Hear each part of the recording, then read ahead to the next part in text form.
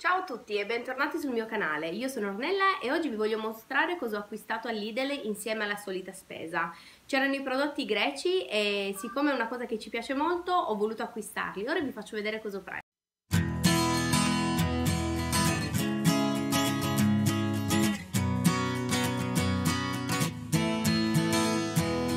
Allora, parto subito dalle patatine perché le vogliamo assaggiare. Eh, qua c'è scritto gusto gyros, gyros, non so come si dica.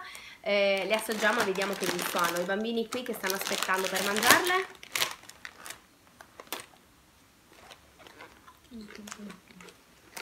Mm.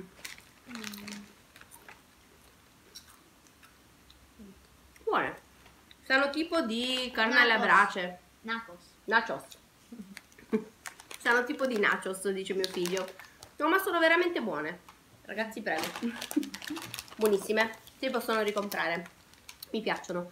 Poi ho preso, le avevo già prese l'altra volta, quando in realtà c'era mm, di nuovo la, la parte gre mm, greca.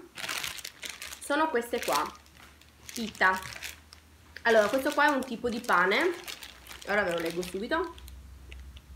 Allora, con aglio e coriandolo farina di frumento, acqua, lievito destrosio, sale, prezzemolo, sciroppo di glucosio, coriandolo, aglio, curcuma, olio vegetale, aroma di coriandolo, miscela di spezie, acidificante, ha una scadenza che è fino all'11 di agosto 2020, quindi l'11 agosto di quest'anno, però devo dire ce ne sono 6 all'interno, questi qua scaldati leggermente in padella, tagliati, eh, con all'interno magari del pomodoro, della carne, fare veramente tipo la pita greca, che è come se fosse il kebab nostro, cioè che conosciamo noi qua, simile ma non uguale.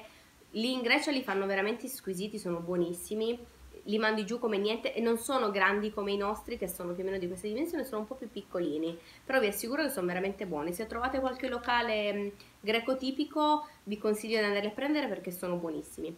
Comunque questo qua è un tipo di pane, si può fare anche tipo panino. E comunque vi ripeto è buonissimo, è speziato e è proprio buono. Niente. Se lo preparo magari vi farò un video di, di cosa gli metto all'interno, non sono sicura perché il tempo che lo faccio qui si mangia e quindi quando prendo la telecamera in mano boh, è già finito.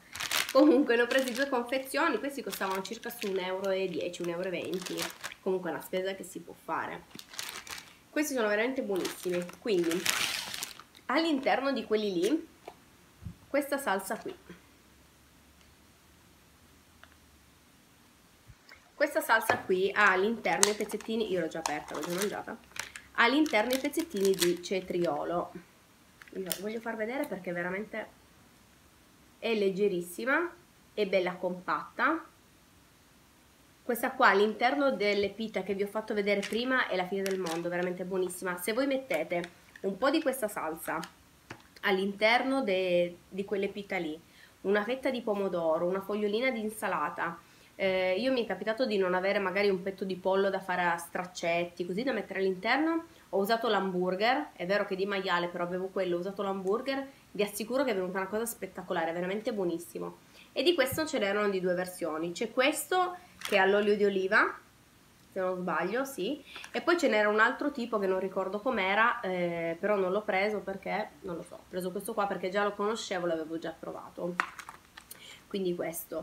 Eh, poi questo qua, questa confezione qui, che c'è all'interno la feta, la feta greca, mm, in salamoia, quindi acqua e sale, quindi c'è l'acquetta dentro. Ce ne sono due, due pezzi grandi quanto questo qua. E questo qua è un formaggio che si mangia molto in casa mia, infatti a Lidl prendo spesso la feta greca, il pezzettino costa 1,69 euro mi pare, e ho trovato questa qui, l'ho presa, ne ho prese due confezioni però l'altra nel frigo. E devo dire che è proprio buona, è proprio formaggio greco. Una cosa che non ho mai provato nelle volte scorse che c'erano appunto questi prodotti qui è questo formaggio qua. Allora, aprendolo ha odore di yogurt, ha la forma così quadrata ed ha una consistenza tipo ehm, l'osella, no, come, tipo la, non lo so come si chiama, quel, quel formaggio rotondo morbido, se voi avete provato questa fatemi sapere perché sono proprio curiosa di sapere anche cosa ne pensate voi. Io la feta la metto ovunque la metto nell'insalata la metto quando faccio le polpette ogni tanto gliela sbriciolo dentro. Eh, a volte magari mangiata così a pezzi come formaggio fresco è buonissima veramente. Questo qua non lo so vi ripeto se l'avete provato fatemi sapere come si può utilizzare perché io non l'ho mai presa. Poi un'altra cosa nuova che ho trovato è lo yogurt questo qui. Allora volevo aprirlo con voi e vedere com'è. All'interno della confezione ce ne sono quattro.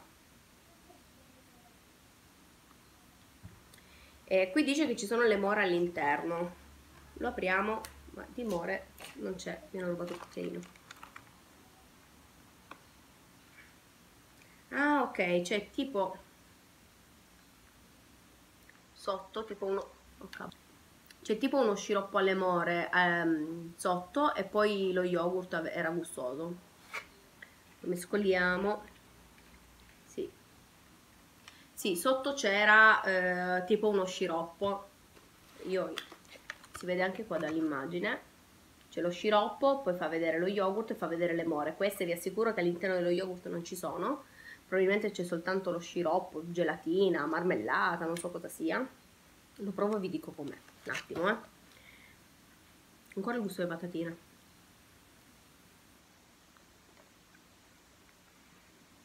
Non è male.